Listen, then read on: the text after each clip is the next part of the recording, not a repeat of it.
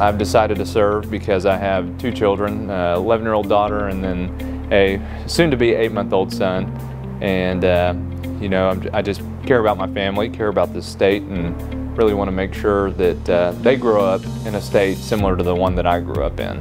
I want us to be able to retain those values that make it conducive to raising a family and giving them those Midwestern Oklahoma values. Sooners.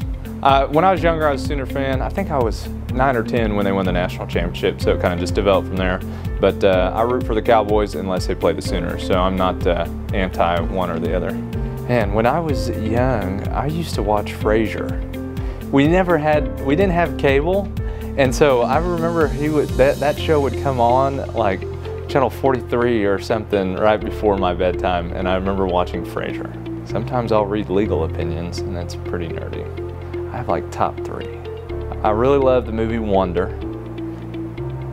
Recommend it. It's not a real famous one, but it's newer one, and it's a great movie. I love Open Range, which is a uh, like a modern western. And then uh, Man on Fire. I like to spend time with my family. That's probably what I try and do most of. There's other hobbies that I have, but I'll push those to the side to spend time with family.